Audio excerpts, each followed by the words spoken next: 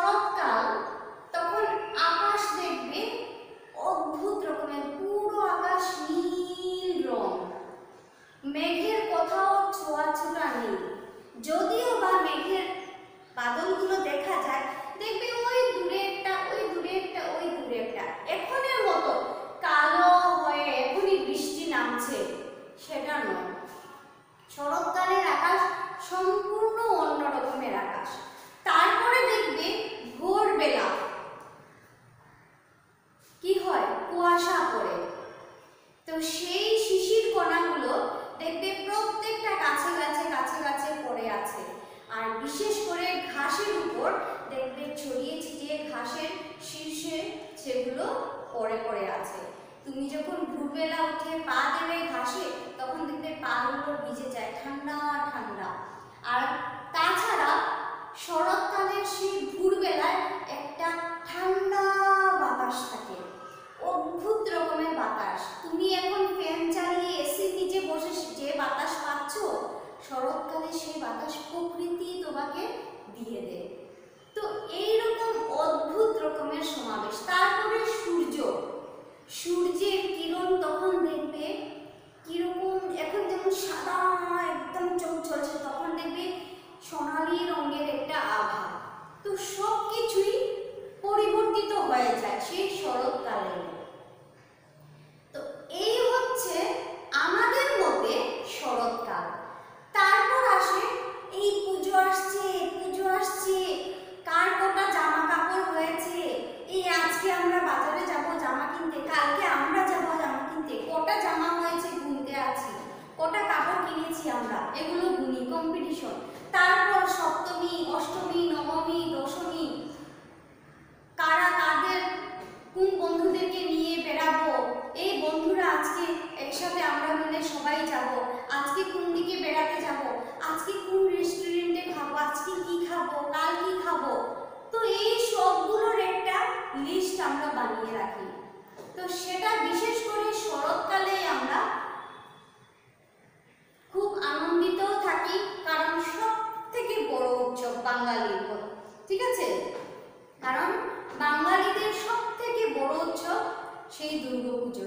তিন দিন ব্যাপী চলে। এত বড়